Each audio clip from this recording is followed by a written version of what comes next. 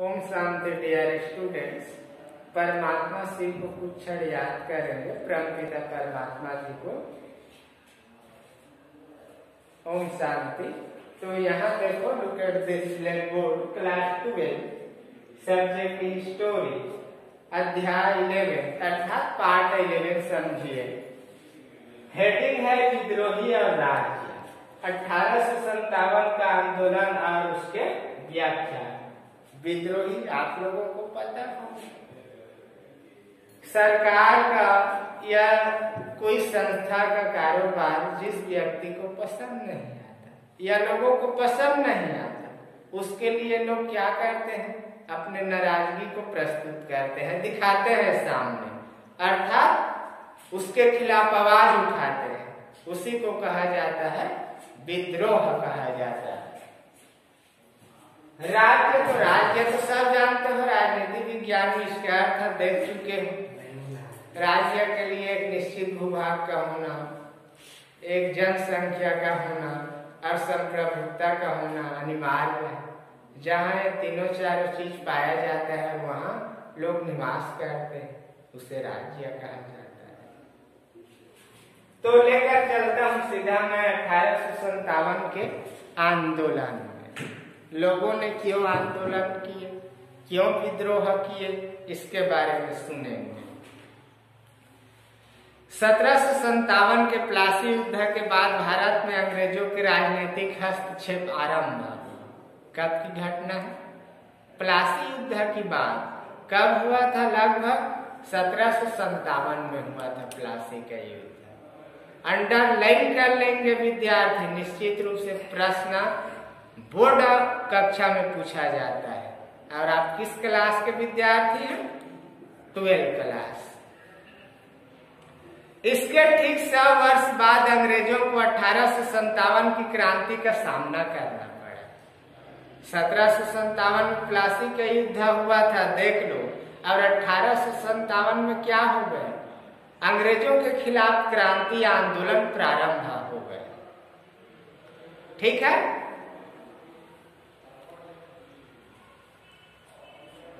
सौ वर्षों में कंपनी ने भारतीय महिलाओं, पुरुष एवं बच्चों पर जो अत्याचार किए थे, उसकी प्रतिक्रिया अठारह सौ सत्तावन की क्रांति के तीन माहों, मई, जून एवं जुलाई में देखने को मिली। अब सोचिए जो ईस्ट इंडिया कंपनी थी, ब्रिटिश ईस्ट इंडिया कंपनी। उस कंपनी में किस प्रकार से मजदूरों को कार्य करवाया जाता था, प्यारे? कहने का मेरा तात्पर्य ये है अधिक तक कार्य करवाते थे, ब्रिटिश शासक। ब्रिटिश जो शासक होते थे, दिन रात काम करवाते थे। बेटाइम कार्य करवाते थे। और मेहतान चंद भर रुपये या चंद भर सिक्के का होता लोगों के जीवन को मुसीबत में डाल दिए थे अंग्रेज़, जो व्यापारी थे या अधिकारी थे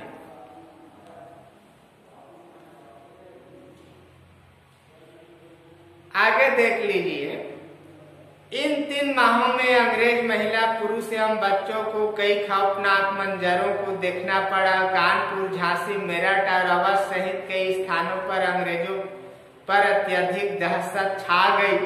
जब कानपुर में अंग्रेज़ों के भीषण धन सहार का समाचार इंग्लैंड पहुँचा तो ब्रिटेन की जनता प्रतिशोध एवं भारतीयों को सबक सिखाने की मांग करने लगी। भावार्थ यही है, कब तक लोग अत्याचार सहेंगे? कब तक बर्दाश्त करेंगे अत्याचारों?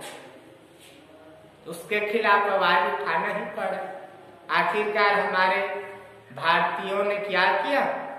अंग्रेज़ों के खिलाफ आवाज़ उठाए उनके खिलाफ विद्रोह किया। उसके नीति, नियम को ठुकराने का प्रयत्न किया, कोशिश किया। अब अधिक मात्रा में अंग्रेज़ों को मार गिराया। और उसकी खबर कहा चल गए इंग्लैंड पहुँच गए। और उस आंदोलन को, उस क्रांति को दबाने के लिए अब नए अधिकारी आए होंगे। आगे देखते हैं क्या होता है। विद्रोह के दमन में लॉर्ड कैनिंग को हैदराबाद ग्वालियर और पटालिया नाभा, जिंद एवं नेपाल आदि रियासतों ने मदद की। इस प्रकार भारतीयों की मदद से ही भारत के इस प्रथम विद्रोह का दमन कर दिया गया। एक बार पुनः न्यूटन का नियम साकार होकर दिखाई दिया। अब विद्रोह के दमन के उपरांत भारतीयों को अत्यंत विभस्त तरीके से मौत के घाट उतारा गया। हमारे भारतीयों ने क्या किया था? अंग्रेज़ों के खिलाफ आवाज़ उठाए थे। उसके बदले में विद्रोह को कुचल दिया गया, दबा दिया गया, लोगों को मौत के घाट उतार दिया गया। विभस भयवाह भयानक कहना चाहिए। घृणा के साथ कहना चाहिए। ब्रिटेन की जनता को इलिस्ट्रेटेड लंदन न्यूज़ एवं पंच आदि पत्रिकाओं में भारत के विद्रोहियों को मृत्यु दंड देते हुए चित्रा छापे गए।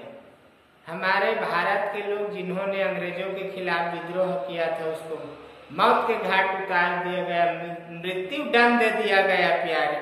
और उन्हीं के तस्वीर को खींच करके जो अंग्रेज़ी अखबार थे या पंच थे, उसमें छापा गया, ताकि इंग्लैंड के लोग इस समाचार को पढ़ करके खुशी हो और खुशियाँ मना सके।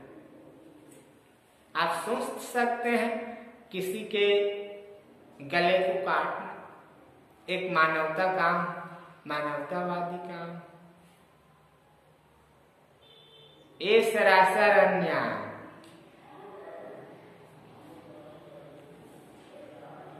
विद्रोहियों को ऐसा दंड दिया गया कि वे आगे विद्रोह की सोच भी न सके। बहादुर शाह, ज़फ़र, नाना साहब कुमार सिंह, बेगम, हज़रत महल, रानी लक्ष्मीबाई, भक्त अली मर्दन सिंह, अली बहादुर लियाकत अली एवं कमर सिंह क्रांति के नेता थे, मगर संशोधनों के एवं एक योजनाबद्ध तरीके के अभाव ने इनके मंसूबों पर पानी फेर दिया।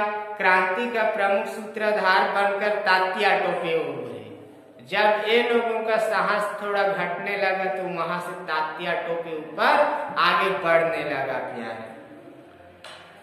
उन्होंने क्रांति के दमन के पश्चात ही अंग्रेज़ों को नाको चने चबाने पर मजबूर किया, परंतु विश्वासघात स्वरूप वह पकड़े गए। और विश्वपुरी मध्य प्रदेश में 18 अप्रैल अठारह सौ उनसठ ईस्वी को शाम सात बजे तात्या टोपे को फांसी दे दी गई। इस प्रकार क्रांति का अंतिम दिया भी बुझ गया।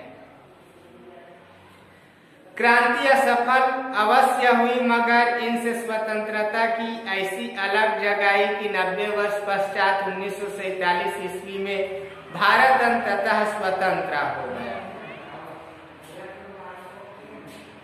तो लगभग सौ वर्षों बाद कुछ न कुछ समस्या उत्पन्न होता है। आप लोग देख लीजिए कम सत्र चल रहे 2020 1920 में भी क्या है महामारी अकाल का सामना करना पड़ा था विश्व को। और 2020 में भी देख लीजिए, ठीक सौ वर्ष बाद कोरोना जैसे महामारी का सामना करना पड़ रहा है पूरे विश्व को, वैश्विक महामारी का। तो उसी प्रकार से सत्रह के प्लासी युद्ध के बाद अठारह सौ सत्तावन की क्रांति का सामना करना पड़ा था अंग्रेज़ों को। तो प्रश्न कर लेंगे विद्यार्थी। आगे नेक्स्ट डे को पढ़ूँगा। अठारह की क्रांति के क्या क्या कारण थे ये? यही विराम देता हूँ अपनी वाणी को। प्रश्न, एक शब्द या वाक्य में उत्तर दीजिए टोटल ट्वेंटी क्वेश्चन है। अति लघुत्री क्वेश्चन टोटल ट्वेंटी है लघुत्री। सेवेंटीन सत्रह। और दीर्घ उत्तरी सेवन क्वेश्चन भी करना है और एनसीईआरटी से भी करना है। और जो इम्पोर्टेंट रहेगा, पढ़ाते वक्त मैं सिलेबस के अंदर में बता दूँगा।